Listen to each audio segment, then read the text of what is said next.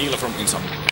Uh, the, the this album is uh, the first uh, record where you were involved, uh, I guess, right? Yes, that's correct. And uh, for you personally, how, how does it feel that you can could add more from your side to the band? How was the process for you? Was it easy to come in and Yeah, it was pretty natural and easy, and as I've known the guys like 10 years or something, and I knew the band from beforehand really well, and so I basically knew what's happening on Insomnium camp, so it was quite easy to jump on board. how did you meet the band?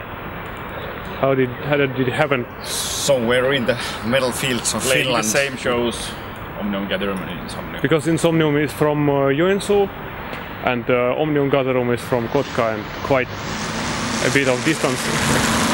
But then I moved to Kotka like seven years ago and we got to know better and, and and still like Finnish. Basically, all Finnish metal bands know each other somehow. Did you manage to try some Russian kind of food or anything while you were here? we're gonna get something in We just had a soon. just had a Russian breakfast there in the backstage, and we had some glass of Ruski Standard vodka. So you ate vodka. okay. Uh, how did you manage the North America tour last recently? I mean, did it when did it go well enough with this replacing and all this sort of things happen? Yeah, it was.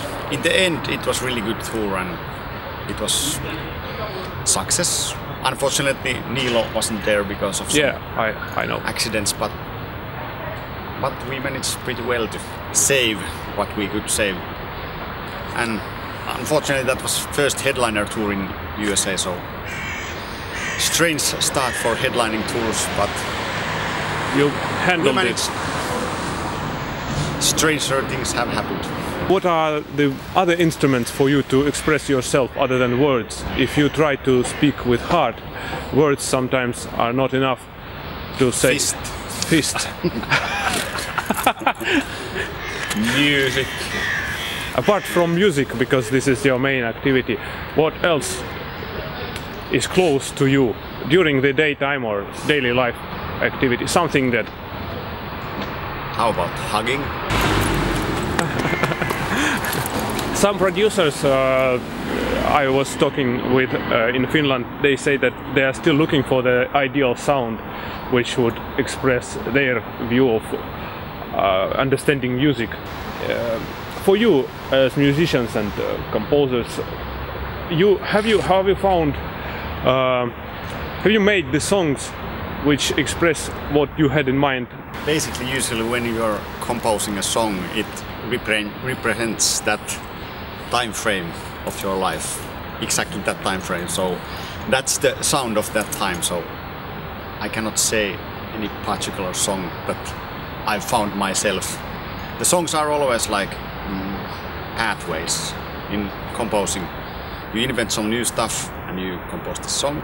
Then it's the pathway to another song, and that's how the music evolves. Well, for example, the end of Drawn to Black, something that, well, it's a song that I have done, so it has a special meaning to me and uh, feels spe- uh, special to play it live. But uh, Markus, have you ever thought to write lyrics for a song? Because you you are not mentioned as lyrics writer anywhere. I tried to do some city rock lyrics to my rock project Blufftrap, but even that was complete shit. So I trust these guys who can do it. song called uh, the Promethean song from the last album. Uh, it says ask guidance from the sun and directions from the moon. Uh, for you, how you understand this? my idea with the song was that, that some people are trying to look for the answers from the higher powers, from the gods or whatever, but that's not where they're gonna find it. That everybody should find it themselves. And that's Inside. the basic idea. Is it hard? Is it harder than getting something on the plate? Well, Depends on the people. yeah, for some people it works. Religion works for some people, but for others, So, So is it an interesting trip for you, like a journey inside yourself, but not outside somewhere to look for ready answers? Is it your way of? well, it's definitely my way. Yes. Could you uh, take this out and Markus, could you close your eyes? Don't worry, it's very normal. You know me already by that previous experience, so I'm quite positive. You are original. yeah, just keep your eyes closed. and Okay. Milo will do And something. open your mouth.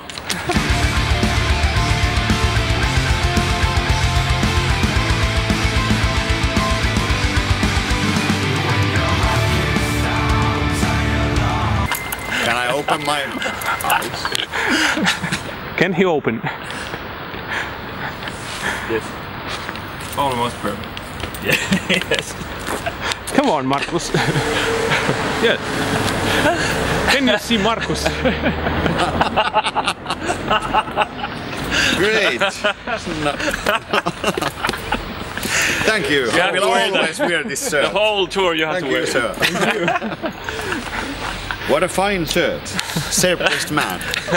Today it's gonna be the first time Insomnium ever place in St. Petersburg. Today is the first day for me ever in St. Petersburg, so really looking forward to this day.